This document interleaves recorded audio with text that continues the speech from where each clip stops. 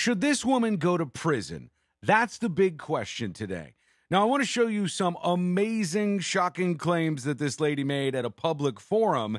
But before I show you that and we judge whether or not she should be charged for this, here's what happened right before. Let's go to the surveillance footage just as she entered City Hall to make this speech. And you could see her and her husband. Her husband walks in first as they enter City Hall to go to this city council meeting.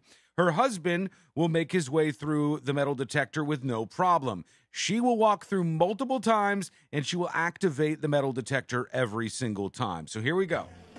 Here comes the husband. You're new. How you doing? Couple pounds there, not too many. putting his stuff down. No problem. Her, the table's supposed to be over here, right? What's that? The table's supposed to be over here. Yeah, I, I never was. Um, try again? You see where she's at. again, she sets it off. Shoes down there somewhere. You got that one underneath, maybe? Oh, you're right. Oh, I have a metal brace on. Okay, so she said, Oh, I have a metal brace on my leg. And now the officer's over there. He's waving the wand around to determine whether or not she has a metal brace on her knee. Uh, listen to the husband's response after this check of the knee brace goes on. No, you can't touch my, get your hands off. She laughs. Yeah, that's what it is. Ass hat. Pull yourself else up on the table. Okay, there you go. Now you've seen the footage, and now we're going to see her claims. And then I want to ask you if she should she should be charged for being dishonest here. But note that she did laugh after this happened. He was kind of being strange about the whole thing, and in fact, trying to tell the cop how to do his job. The table should be over here. But they made their way into the uh, city commission hearing, and she stepped up to the podium. And here's her story about what you just witnessed. While attending a meeting here at City Hall, coming through that metal detector, as you probably noticed, I can't walk very well. I have a broken leg.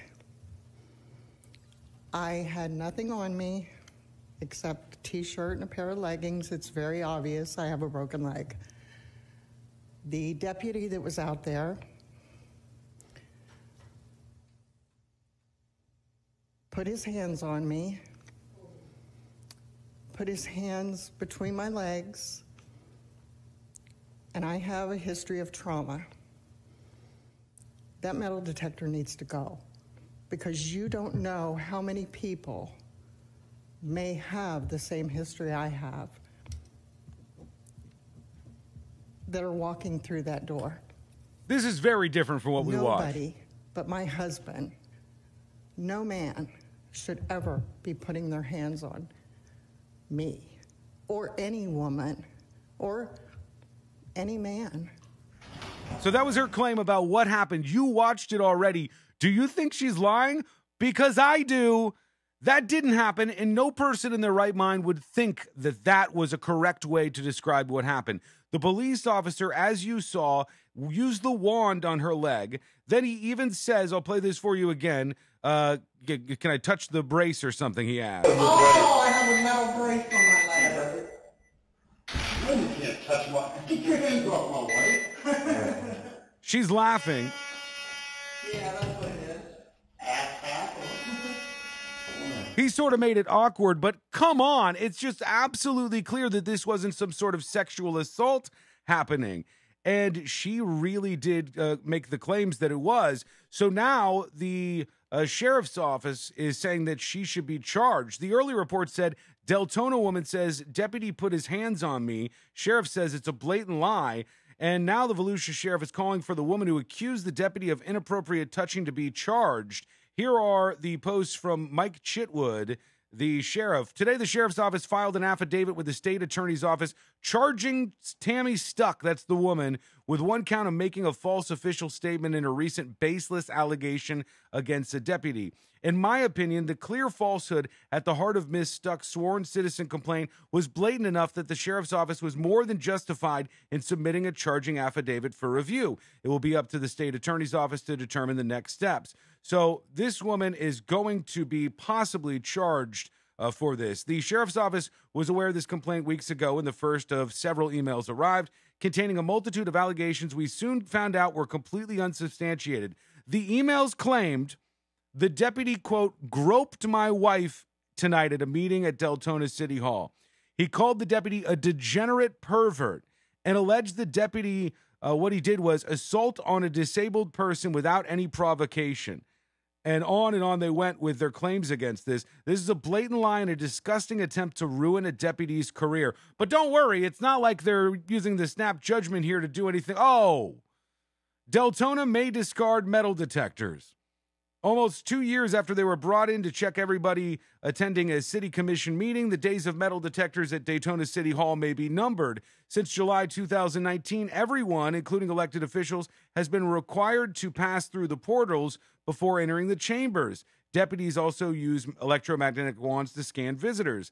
Now, of course, they're saying it should go. Why? Because of this woman's claims about what happened or didn't happen when she entered this building. Now, she's got more to say, so let's go back to her. It, I just have no words of what happened. But it's time for that metal detector to go. I, I, I just don't know what else to say. Real victim. You would I believe her, right? Courthouse. I'm a guardian ad litem. I have never been touched going through the metal detector.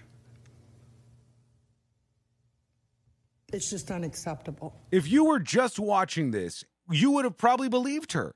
You would have said, Man, what happened to her? Let's get this guy. Everybody, let's get a mob together and go round this guy up. He was sexually assaulting her.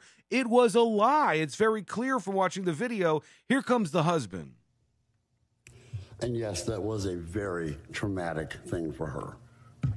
I had to deal with for, oh, probably the first 10, 15 years of our marriage, her getting over what happened to her as a child.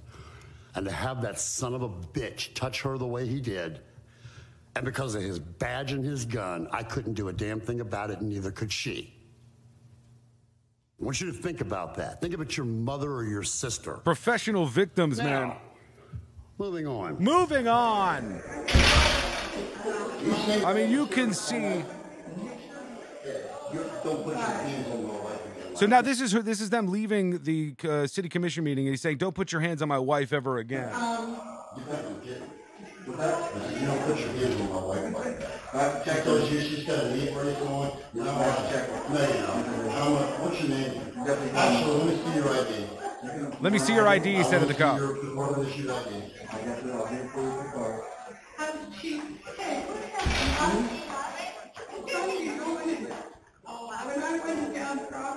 So then it goes on to all the, the, the city commissioners going one by one. Oh my God, what a terrible and tragic event this was. Full investigation. We're going to do a full investigation and all of it for naught because you've seen the footage now. What do you think should happen to this woman and her husband? Let's lump in him, him in too because they both know exactly what they're doing. They both know that they're being professional victims, that nothing happened here, that this guy wasn't being a pervert or copping a feel on the wife, that he was doing his job. His job was to make sure that nobody went through that medical uh, metal detector rather without him seeing what was setting it off and he found out in this situation exactly what it was. Give me your thoughts, your comments on it. Should she be charged? Should he be charged? What should the punishment for this be? I'm interested in reading those as always. If you like this video, please hit that share button to spread the message to some of your friends and to get the word out there even more. If you're new around here to get a video just like this, something crazy happening in the news every single day that you can chime in on, follow along over at facebook.com slash the news junkie. Hit the follow button there or subscribe on YouTube, and we'll talk to you again real soon.